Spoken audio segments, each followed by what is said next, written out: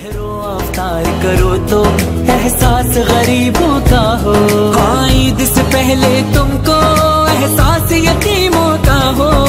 दिल जो किसी का ना तोड़े, टूटे रिश्तों को जोड़े, वो अच्छा इंसान है है।